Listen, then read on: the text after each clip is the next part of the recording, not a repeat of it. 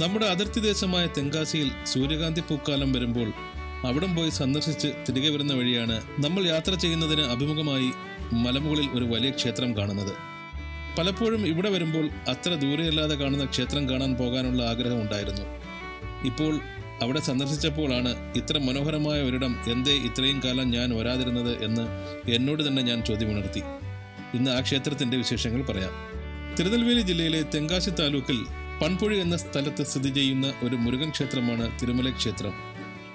കേരളവുമായി പങ്കുവയ്ക്കുന്ന അതിർത്തിക്കടുത്ത് പശ്ചിമഘട്ടത്തിൽ ഒരു ചെറിയ കുന്നൻ മുകളിലാണ് ഈ ക്ഷേത്രം സ്ഥിതി ചെയ്യുന്നത്. ഈ ക്ഷേത്രത്തിലെ പ്രതിഷ്ഠകളായ മുരുകൻ തിരുമലൈ മുരുകൻ എന്നും തിരുമലൈ കുമാരസ്വാമി എന്നും അറിയപ്പെടുന്നു.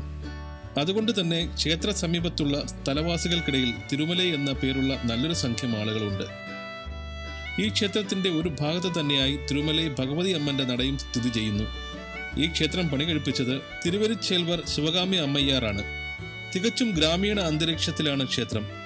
പഴനിമലയെ അനുസ്മരിപ്പിക്കുന്ന വിധമാണ് ഈ ക്ഷേത്രത്തിന്റെ സ്ഥാനം. നഗരത്തിന്റെ യാതൊരു തിരക്കുമില്ലാതെ ഗ്രാമീണതയുടെ ഭംഗി ആസ്വദിച്ച് പശ്ചിമഘട്ട മലനിരകളെയും കണ്ട് നല്ല കാറ്റേറ്റ് വല്ലാത്തൊരു അനുഭൂതിയാണ് തിരുമലൈ കോവിൽ നമുക്ക് നൽകുന്നത്.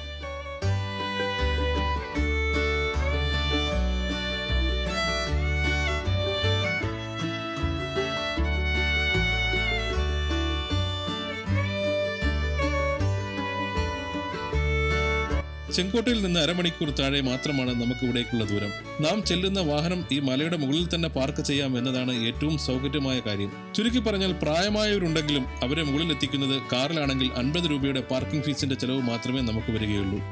പടികൾ ചവിട്ടി കയറേണ്ടവർക്ക് അറുന്നൂറ്റി ഇരുപത്തിനാല് പടികൾ ചവിട്ടി മുകളിലേക്ക് എത്താം താഴെ നിന്നും വാഹനത്തിൽ ഈ ക്ഷേത്രത്തിലേക്ക് എത്തുന്ന യാത്ര ഗംഭീരമാണ്. ഹെയർപിൻ വളവുകളിലൂടെ ഒരു ഗംഭീര കാഴ്ചയാണത്.